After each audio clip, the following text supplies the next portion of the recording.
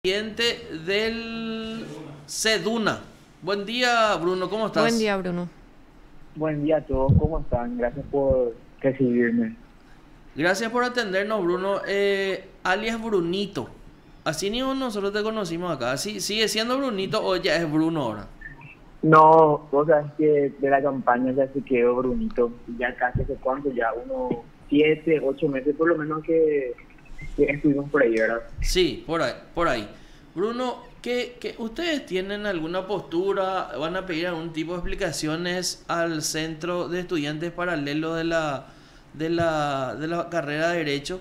Eh, quienes recibieron en forma oficial a estos representantes del país que inexistente?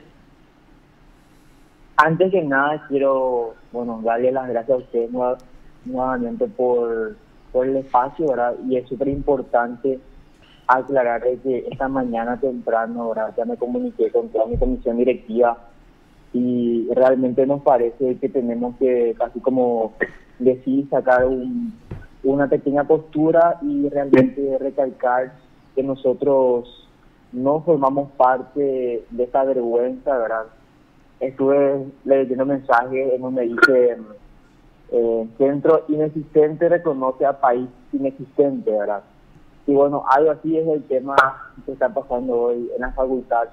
Eh, a nosotros, a mí por lo menos, ni siquiera como presidente, sino como un estudiante cualquiera, me pone un poco de vergüenza saber que está pasando esto en la facultad debido a que no, nos, nos deja muy mal parados ante la sociedad, ante nuestros familiares mismos, ante nuestros amigos, ¿verdad?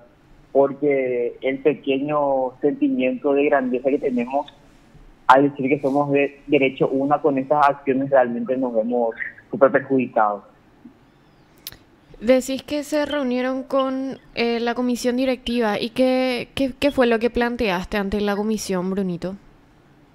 Sí, nosotros, yo, yo planteé lo siguiente, ahora está yo también en redacción el texto, eh, que nosotros podamos hacer una aclaración de que nosotros no formamos parte de estos actos que comprometen al estudiantado con un país inexistente y que tampoco nosotros estamos de acuerdo de que un centro que hasta ahora nosotros tenemos la postura que es ilegítimo, ¿verdad? ilegítimo y poco representativo, de estos pasos para que el estudiantado en sí sienta vergüenza, como ya expliqué hace rato, ¿verdad?